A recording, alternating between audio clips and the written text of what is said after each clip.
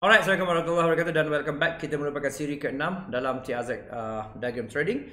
So hari ini kita akan pergi kepada TRZ iaitu dikenal sebagai TRZ Trading Plan, right? So kita akan mulakan daripada sekarang.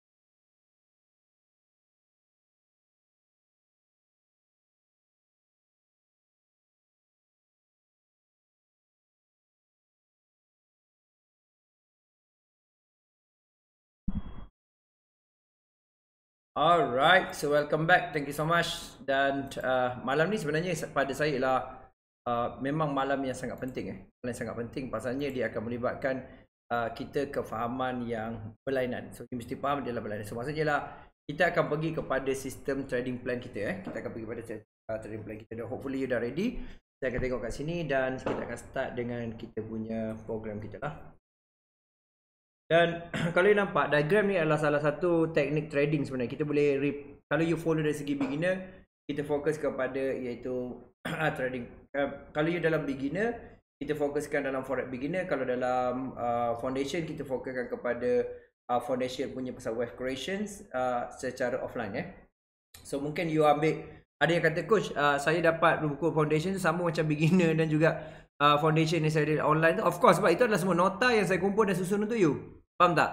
Ah, tak ada you berterabur ada situ sini sini dan pada sampai saya ada tambah sikit lah. Saya tambah kalau cuma tinggal you perasan ataupun tak perasan sajalah kan. So itu uh, yang sebenarnya saya nak nampak dari segi uh, konsep trading ni. Alright. Uh, sekejap saya nak pergi kepada itu seterusnya. Okay. Uh, okay, okay. Okay, patutlah saya punya powerpoint dekat sini. Saya nak guna yang smart. Okay ada. Nanti kita semua berjalan lancar. Alhamdulillah semua komputer pun kadang baik.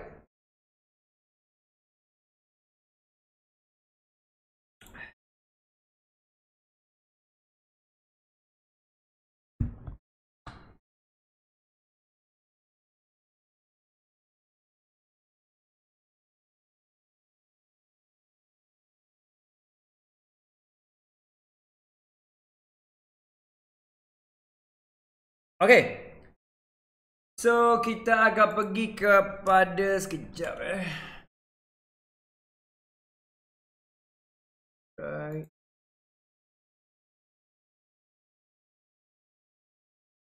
Malam ni USD menguat eh tiba-tiba. Apa news mengatakan USD menguat?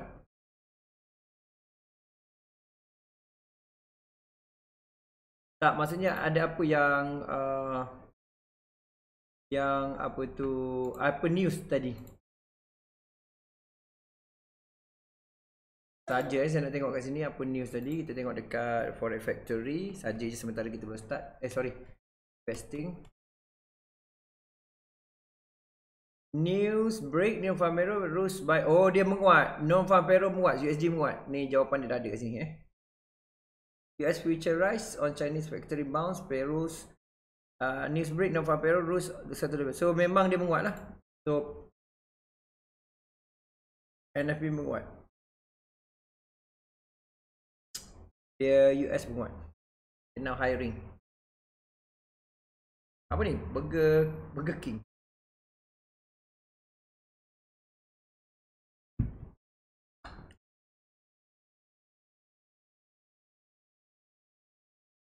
Okay tak apa kita sambung kerja kita. Sambil-sambil kita tengok. Kenapa dia jadi macam ni? Sekejap. Nine. Kenapa jadi candlestick macam tu? Alright. Okay. So kita akan sambung ini hari ini adalah hari penting untuk kita pergi kepada trading plan.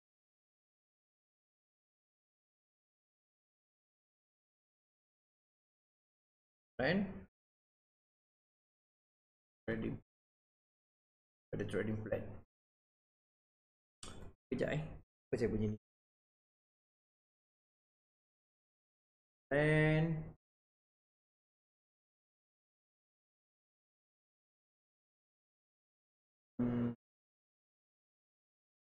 Hari ni kita akan cerita pasal T-Azad trading plan je. Kita tak nak cerita benda-benda lain. Sebab satu video yang saya buat ni khas untuk uh, satu pengetahuan. Jadi secara tak langsung dia akan bantu you uh, untuk faham dengan lebih mendalam. Kalau saya pergi laju, saya pernah pengalaman pun saya buat laju. Tapi problem ialah bila saya buat laju, uh, ada juga yang jadi terlepas pandang dan juga tak tahu menau eh. Sepatutnya foundation tu praktis berapa lama baru kita praktis intermediate pula. Okay, uh, Intel kata sekarang dia dah ajar intermediate kan sepatutnya foundation tu praktis berapa lama baru kita praktis intermediate. Uh, setiap beginner uh, level, okay, setiap beginner level, setiap apa tu yang saya buat beginner foundation dan juga intermediate, dia adalah pasangan berlainan. Eh. Jadi juga dia ada prerequisite berlainan. So maksudnya ialah, kalau you dekat beginner you trade pun insyaAllah you profit. Kalau you duduk foundation tanpa You ada intermediate pun insyaAllah profit. Kalau you intermediate, juga insyaAllah profit. So maksudnya ialah dia adalah sistem yang berlainan sebenarnya. Tapi kalau you nak faham intermediate lebih pandai dan faham, you kena datang daripada beginner dan foundation lah. Ha, jadi pada saya lah, dia sebenarnya ialah tepuk dada tajam selera satu sudut. Maksudnya lah mungkin you rasa okay aku nak mahir ni, mahir ni. Okay? So sekarang ni antara benda yang saya nak you nampak ialah dekat situ. Okay?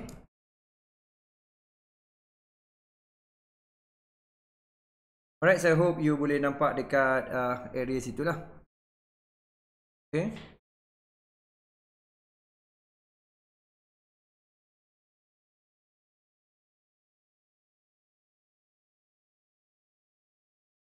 Alright.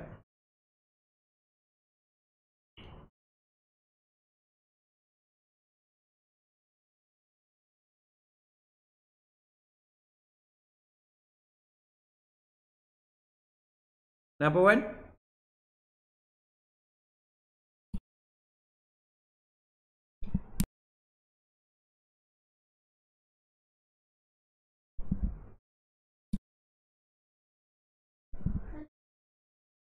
Okay. So sekarang ni kita pergi pada trading plan. Okay. So trading plan yang pertama ialah. Saya nak balik kepada ni sekejap eh. Tak, dah kena SL ke? Saya punya euro. Hampir betul.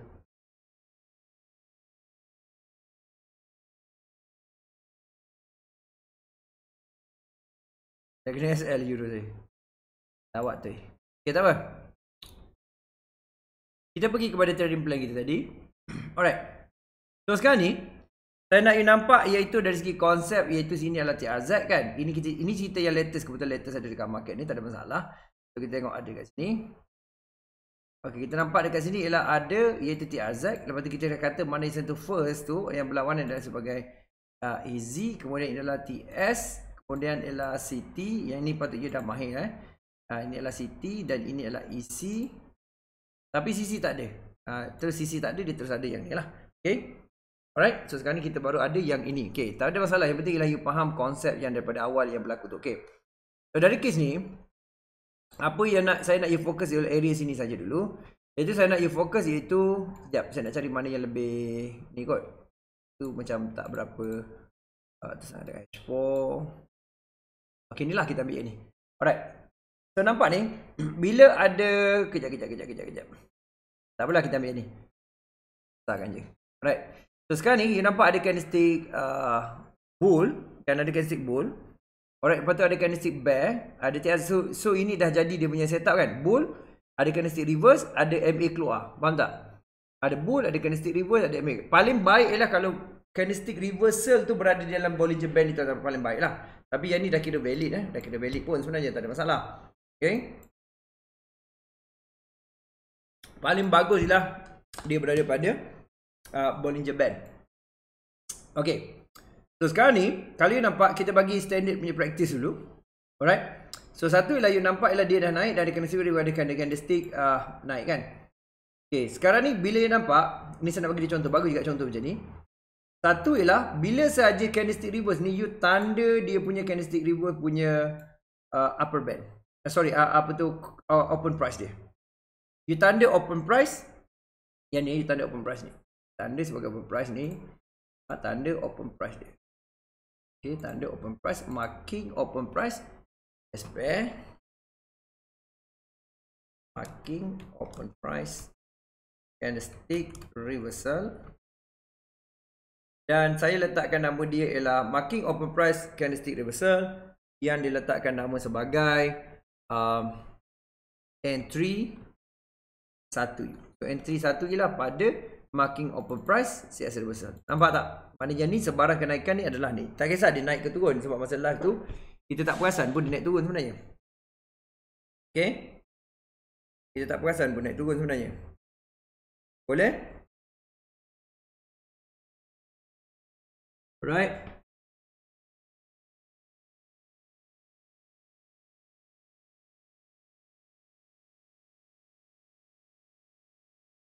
Okay, yang ni tangkap tak yang yang first punya version dulu?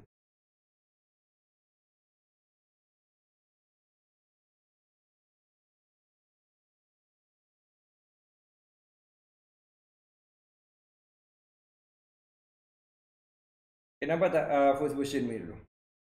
Okay, lepas tu, yang kedua, yang you kena faham ialah, ada CS yang retest kepada MA ni, okay? CS yang retest kepada MA ni. Okay, ada CS yang retest kepada MA, nampak? CS yang retest kepada MA, nampak MA TRZ ialah retest MA TRZ. Tulis satu. Good. ni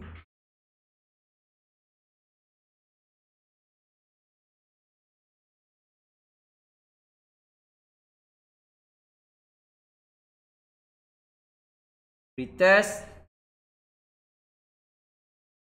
MATRZ adalah entry 2 maknanya mana-mana candlestick yang retest MATRZ adalah entry 2 ni tangkap tak yang pasal kedua ni Okay, saya cuba bawa pelan-pelan cerita kita. Alright? Saya cuba bawa pelan-pelan cerita kita. Boleh? Boleh? Boleh ke tak boleh?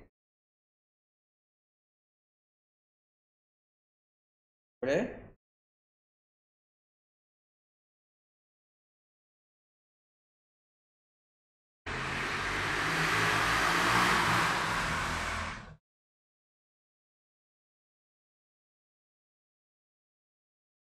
Okay, market open price irreversible, retest MA transact adalah sebagai entry 2. Okay. So, ini adalah entry. So, take profit. Take profit adalah pada MA berlawanan. Ataupun entry easy, exit zone dia. So, ini adalah take profit eh. Ini adalah take profit. Take profit pada easy. Iaitu exit zone. Okay, take profit pada exit zone. Maknanya mana-mana yang tentuh dia adalah take take profit. Okay. Saya nak ia fahamkan tu. Boleh?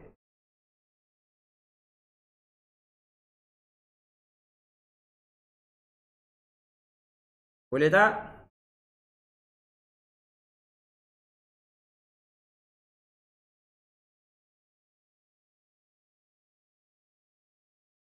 Boleh tak yang ni?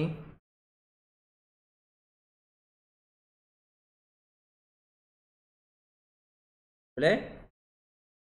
Saya cuba pelan-pelan. Okay? So, jadi. Ini adalah you punya take profit. You punya cut loss mana ni yang keluar kat sini? Ini adalah you punya cut loss. Sekiranya kena stick close dua you cut loss. Ini adalah cut loss. Adalah cut loss eh. cut loss. ES close luar BB cut loss you stall. So lengkaplah tadi biasanya kita tak masuk tempat ni. Okay so saya buat demo yang pertama. Demo yang pertama macam ni okay so inilah tadi plan so T TRZ Pak Boleh tak yang? Jadi biasanya kita tak ambil, kita ambil CPZ2. You ingat balik foundation CPZ2. Balik kepada CPZ2.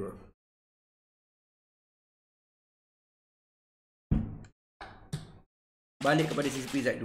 Okay. CPZ 2 maksudnya you ambil anti diagram. Okay, jadi satu ialah saya nak ialah trending plan TAZ ialah iaitu entry pada marking open price TS reversal dia adalah entry satu kedua ialah retest MA TRZ adalah entry 2 dan juga seterusnya. You punya apa? Stop loss. Ataupun cut loss. Itu pada candlestick. Close luar Bollinger Band. TRZ dan you punya TP ialah pada MA berlawanan TRZ yang dikenali sebagai easy. Okay, lengkaplah satu trading plan kita. Faham? Okay. Ada apa-apa soalan? Saya nak bagi sampel yang kedua lepas ni. Saya akan bagi dua tiga sampel untuk Pak. Okay, saya nak bagi dua tiga sampel untuk Pak.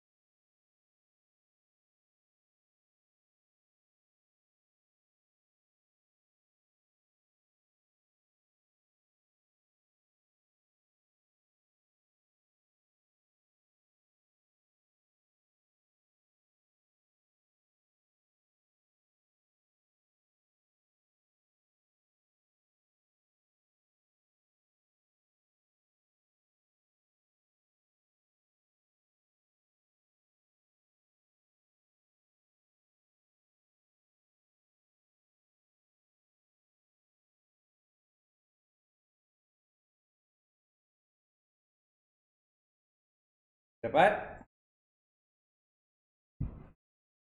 Dah ke mana kau orang ni? Ada 30 orang tapi tak tahu ke mana. Kau duduk kalut NFP. Relax lah bro. Okay? So ini konsep dia. So saya bagi contoh yang kedua. Saya ambil level. Kan dua ni dah gagal kat loss kan. Lepas kedua dia keluar balik MA. Perasan tak? Kali kedua dia keluar balik MA. Keluar balik MA. So kita ikut SOP sama juga. Candlestick reverse. Kita buat sini. Sama juga. Candlestick reversal. Retest adalah entry. Dan juga cut loss. So yang ni case ni tak cut loss lah. Faham tak? So maksudnya you entry. Dan TP sikit sangat lah. Dan sikit sangat. Ini berapa pip tak sampai. 7 pip je dah TP eh. So ini adalah TRZ yang kedua. Faham tak? Yang ni konsep ni yang yang sama. Okay boleh? Tangkap tak pasal ni? Boleh? Malam ni saya bagi bonus. Malam ni saya bagi bonus. Saya bagi lagi satu ialah terus kepada uh, trend start sekali. Kau selepas tu dia berlaku easy, betul tak? Easy ni tak ada setup. Easy ni untuk TRZ, CPZ. Saya akan discuss uh, TRZ punya konsep tu nanti mungkin next week. Tapi sekarang ni saya nak you faham yang pertama ni dulu. Boleh saya pergi seterusnya kepada trading plan trend start terus. Tak apa saya bagi lebih malam ni. Trading plan. Okay.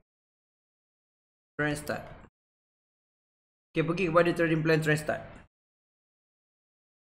Boleh pergi pada trading plan trend start. Yang ni ada soalan tak yang ni? Itu contoh yang ada cut loss. Lepas tu tak ada cut loss kan? Ini contoh yang ada cut loss.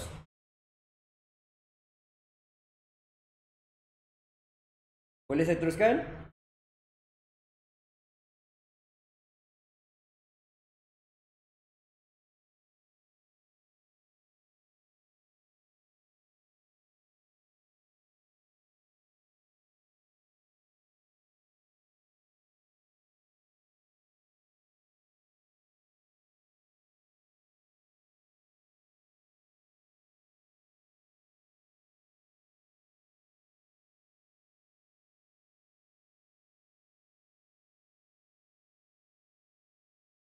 Boleh?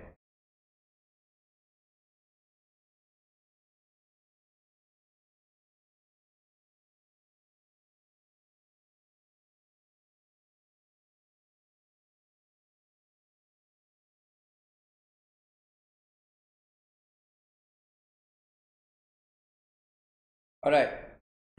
Saya cuba pelan-pelan sebenarnya eh. Okay, tapi yang kedua iaitu trading plan trend start. Okey, selepas tu berlaku trend start, trend start macam mana trading plan dia? Okay, trading plan dia nampak ini TRZ dan ini easy. Trend start lah syarat dia candlestick close price dalam BB dan ada candlestick reversal. Nampak? So, dalam kes ni ini boleh diambil sebagai candlestick reversal. Why kita ambil sebagai candlestick reversal? Pasalnya dia still bear. Nampak tak rupa dia masih lagi bear kat sini? Nampak tak? Memang ni bear juga tapi ni sebenarnya juga bear. Yang bear dia kecil tapi dia still bear. Walaupun kecil dia still bear. Dia kecil tu bukan dia jadi kucing. Miau, miau bukan eh. Dia jadi bear. Boleh? Okay.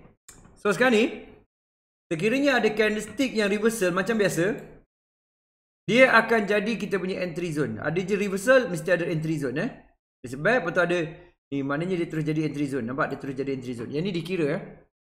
Ataupun dia boleh ambil ni sebagai dikira. Tapi saya ini pun sudah dikira. So maknanya di entry dia satu saja. Iaitu. Entry.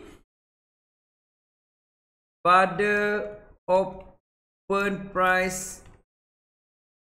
Candlestick. Reversal. Okay. Entry pada. Open price candlestick reversal. Nampak ni. Mamat ni. Okay, Mamat ni. Alright, so entry boleh kasi. So, sebarang retest.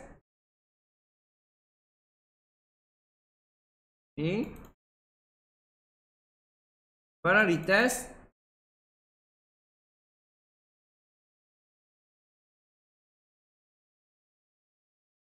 Okay, sebarang retest. Retest pada open price candlestick reversal merupakan entry. Okay, dia merupakan entry. Retest pada open price candlestick reversal merupakan end. Saya letak kat sini lah. Nampak panjang sikit dah lebih nice eh. Ialah entry. So, sebarang retest. Ini kita dah pergi kepada ketiga. Lepas tu yang Candlestick trend ni dia banyak sikit topik dia. Saya tak boleh nak cover terus sekaligus. Kita cerita yang satu persatu. Ada orang tak ni? Hello? Ada orang tak ada orang ni? Eh? Mentang-mentang saya agak apa tu straight. Maknanya agak serius terus banyak uh, apa tu mendiamkan diri. Okay, entry pada candlestick reversal, retest pada upper price, candlestick reversal. Okay, clear tadi pasal entry. Okay, TP yang pertama, ialah Bollinger Band Middle Band TP yang kedua ialah Lower Band. Okay, TP yang pertama adalah Middle Band TP kedua adalah Lower Band TP ketiga ialah Whole TP sekiranya ada Candlestick close di luar. Bollinger Band condong. Okay. So take profit Satu. Take profit terdekat lah ialah middle band. Okay. Take profit 2 ialah lower band.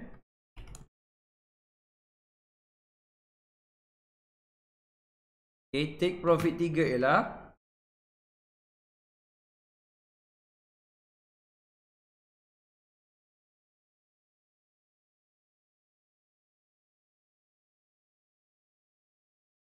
hold TP ke TS close price luar condong. Okeylah namanya. So ini adalah dia punya take profit. Stop loss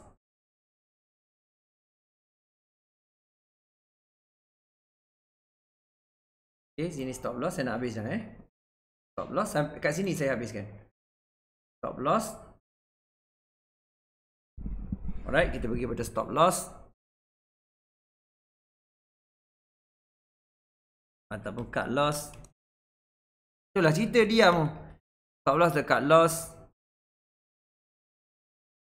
Sekiranya. Candlestick. Close. Luar BB. TRZ. Habis. Cerita. Dah siap semua ni. Ada tanya coach TP mana pasal TP dia kat situ je. TP pada pada eh, support resistance terdekat. Itu je cerita dia.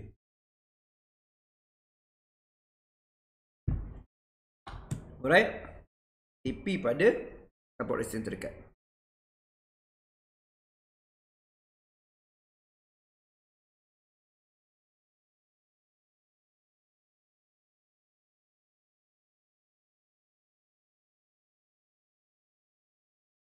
Boleh?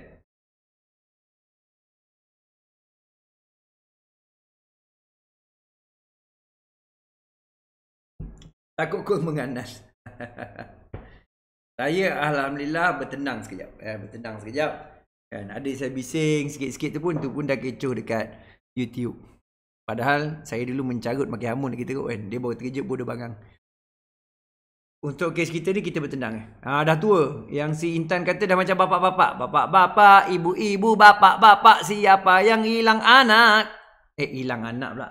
Punya anak. Kan? Ha, jadi bapak-bapak mood bapak-bapak ni uh, kita slow sikit kan. Okay. So saya screenshot sekarang sebelum terlupa. Saya ambil ni. Besar sikit pula kita punya chat kali ni.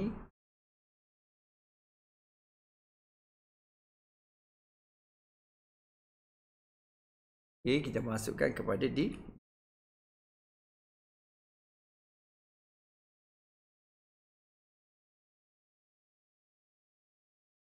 Okay, nombor satu ialah kita tahu itu entry. Tadi kita tulis dekat sini ialah nampak entry pada. Alright. Entry pada apa? Ya, Alhamdulillah Wan. Baik, baik, baik. Alhamdulillah. So, entry pada close price sorry. Open price. Candlestick reversal. Okay entry pada tu. Dan kita punya uh, ini entry lah. Maknanya kena ada bull lepas tu kena ada entry best. So kita set tanda tu. Lepas tu kita punya TP take profit. Satu apa? Iaitu middle band. Middle band luar BB full TP apabila CS close luar BBTRZ. Okay. Stop loss.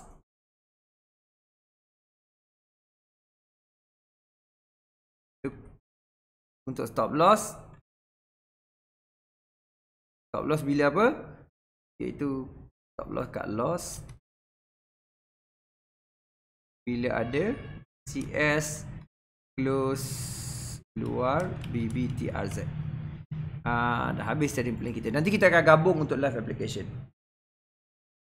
Kita bukan pergi tengok analisis. Analisis petang tadi. Okay, analisis petang tadi. Kita sedang pergi iaitu kita punya ni dulu.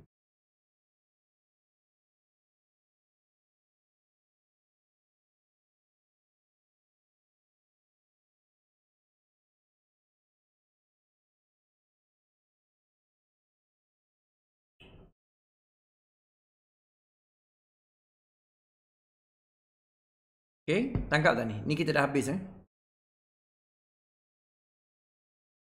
Sebab soalan Wan kata gol ke mana, uh, GBP, JBP, JBP, JPY ke mana, dia sebenarnya bergantung kepada kita punya apa yang kita belajar sebenarnya. Kan? GBP, JPY. Kan you kata nak ke mana, you kena tengok mana dia punya setup yang you faham. Sebab tu penting belajar semua kan. Of course dia sideway H1, H4, Daily Weekly Monthly saya biarkan dulu. Tak ada setup clear pada saya. Tak ada setup clear. Saya akan biarkan dulu. Tak ada setup clear personally. Dia boleh naik ke atas ke bawah. Tapi kalau you nak bet juga More or less kepada Masih lagi saya nampak ke atas eh. Dia akan turun laju dan naik ke atas. Itu saya nampak. Mungkin setup dia lah Saya attack lah. Saya menjagakan pada area sini. Ini adalah buy limit saya Kenapa saya tak nampak saya ni? Saya tertutup benda ni. Oh, patutlah tak nampak. Okay. lebih kepada situ. Itu saya punya one saya punya. Ini bukan analisis eh, tapi saya jawab juga soalan ni lah. Okay. Pasalnya ini baru berlaku TRZ high yang kita belajar. Trend start bla bla bla bla bla tapi dia masih lagi naik tapi saya target pada daily. So kalau kita nampak sini TRZ last dia lah kat sini. So maksudnya dia masih tunggu TRZ low berlaku naik dan dia kat turun. Aku dah akan teruskan perjalanan. Alright, so hopefully you boleh tangkap apa malam ni. Sorry eh, selingan analisis pula. Ada kawan minta tolong. Saya akan avoid untuk pair tu. Okay, bagi yang boleh dapat uh, apa tu. Uh, bagi yang belum dapat uh, kira ni, pastikan untuk nota dan rakaman itu pergi kepada http root2ftt.com slash apa tu? Intermediate. Pastikan you download dia ni untuk dapatkan semua yang saya ajarkan ni nota apa sebagainya secara percuma daripada you okay all the best. So salam hormat. So, kita jumpa lagi untuk uh, sesi akan datang. Dan saya sangat appreciate you punya masa. Dan assalamualaikum